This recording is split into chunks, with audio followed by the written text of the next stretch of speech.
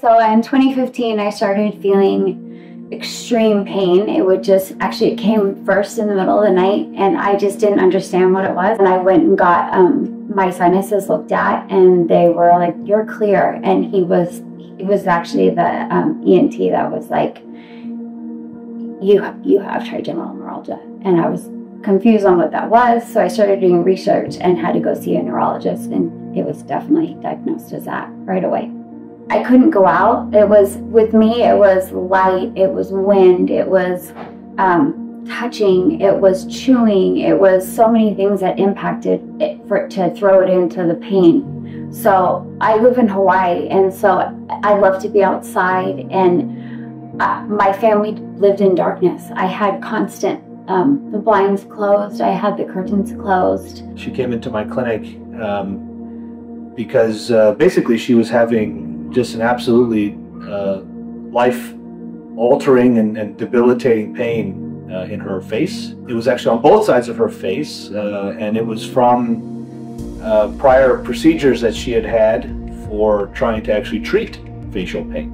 Um, but what can happen in those situations is that you can end up with changes to the actual nerve um, in, uh, inside the brain itself, and uh, if you get these changes to, to that nerve, you can end up with a, with a, with a different and a totally new and an even more severe type of pain. Uh, and it's something called anesthesia dolorosa. We went to our innovative care committee and said, you know, we know we can do this safely. We've been doing it for a long time now in epilepsy, but there are different conditions that we think could actually benefit from this approach. Uh, what we were able to do was to bring her into this context of the Human Neural Circuitry program and find the exact spots deep in her brain where stimulation uh, would alleviate her suffering. We have in this room, we designed and built a network that spans the whole campus and lets us send a signal to servers across campus and back in less than half a millisecond. That lets us have extremely fast uh, communication, closed loop assessment of what's going on with all these electrodes that are deep in the brain, listening in on what's going on uh, as the patient experiences subjective feelings. And this lets us see exactly what signals matter and exactly where it might be most useful to, to intervene. My, my, my, own particular role was I was very much involved in target selection, in planning of the operation, uh, and uh, assessing her clinically during the period of, of stimulation and testing in the week week following implantation, and then finally uh, in, in targets, in selecting deep brain stimulation targets that we eventually went on to planning and carrying out that operation with Dr. Buch as well.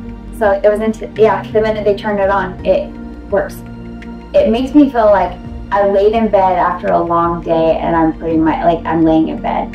That huge of just.